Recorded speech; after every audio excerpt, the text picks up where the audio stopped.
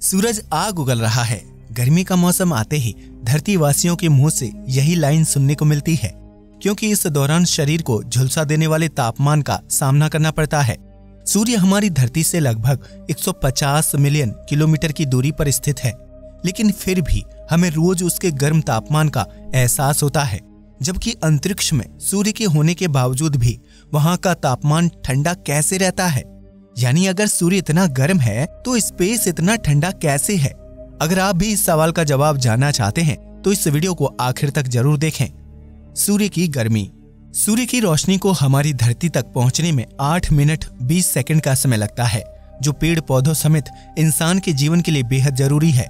लेकिन जहाँ एक तरफ़ सूर्य की रोशनी जीवन देने का काम करती है, वहीं दूसरी तरफ़ उसकी गर्मी से मानव जीवन मुश्किल में पड़ जाता है। साल 2019 में कुवैत का तापमान तिरसठ डिग्री सेल्सियस तक पहुँच गया था। ऐसे में अगर कोई व्यक्ति इतनी गर्मी में कुछ देर बाहर खड़ा हो जाए तो हीट स्ट्रोक की वजह से उसकी मौत हो जाएगी।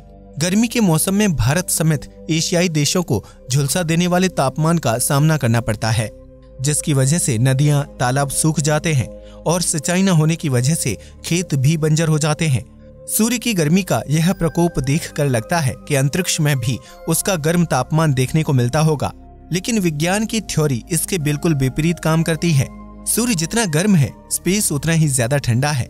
यानी सूरज की गर्मी और उसके तापमान का स्पेस पर कोई असर नहीं पड़ता, जिसकी वजह से वह हमेशा ठंडा रहता है।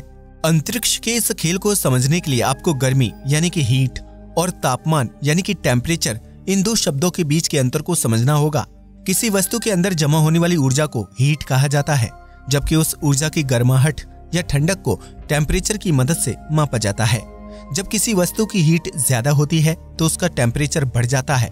वहीं जैसे ही किसी वस्तु से हीट बाहर निकलती है तो उसका टेम्परेचर कम हो जाता है। हीट एक जगह से दूसरी जगह ट्रांसफ़र होने के लिए तीन मोड्स का इस्तेमाल करती है, जिसमें कंडक्शन कन्वेक्शन और रेडिएशन शामिल है। कंडक्शन के ज़रिए हीट तब ट्रांसफ़र होती है जब उसके पास कोई ठोस कण मौजूद हो। ठोस कण जब हीट के संपर्क में आते हैं तो वो गर्म होने लगते हैं और एक दूसरे से टकराकर गर्म पार्टिकल्स के ज़रिए ऊष्मा फैलाते हैं। वहीं कन्वेक्शन प्रक्रिया के ज़रिए हीट को ट्रांसफ़र होने के लिए तरल पदार्थ और गैस की ज़रूरत होती है।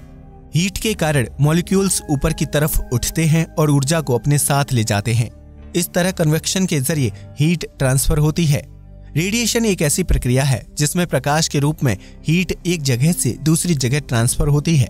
वस्तु जितनी ज़्यादा गर्म होगी, उससे निकलने वाला प्रकाश उतना ही ज़्यादा हीट ट्रांसफ़र करेगा।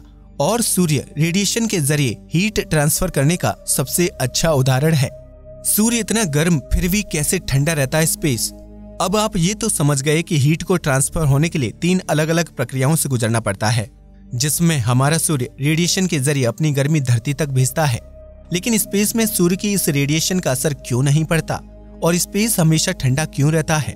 दरअसल स्पेस में कोई कण या अणु मौजूद ही नहीं है, जिसके संपर्क में आकर हीट अंतरिक्ष में फैल सके। स्पेस का कोई छोर नहीं है और ना ही कोई सीमा।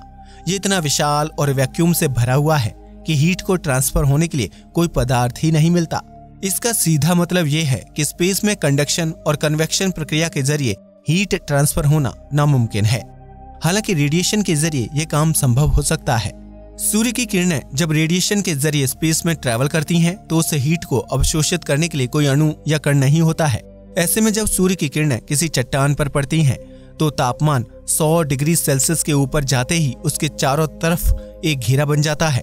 इस घेरे की वजह से उस चट्टान में और ज़्यादा हीट अवशोषित नहीं हो पाती।